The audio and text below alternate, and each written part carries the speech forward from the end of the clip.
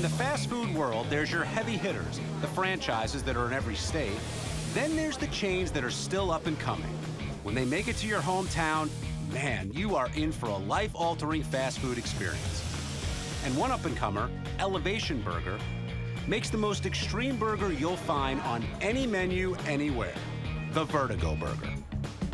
So you went with the Vertigo Burger, huh? Yeah, man. How many patties deep? Seven. Last week it was six. Next week will be eight. I'm working on 10. So every time you come in, you up at one patty? You're an impressive young man.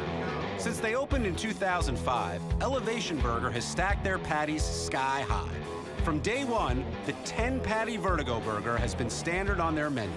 To put that in perspective, at the major fast food chains, the most patties you can order off the menu is three.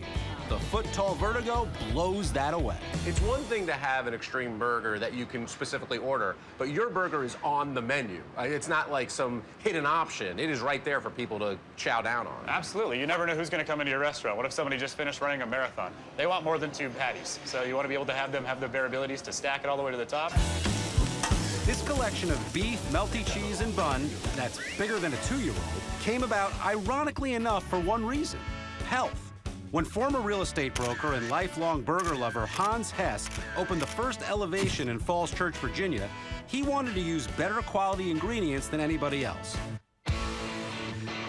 So every elevation burger is made with 100% USDA certified grass-fed free-range organic beef.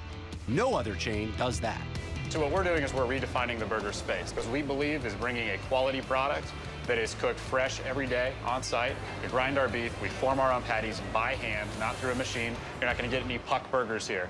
We don't have any heat lamps whatsoever. There's no uh, holding bins or anything else.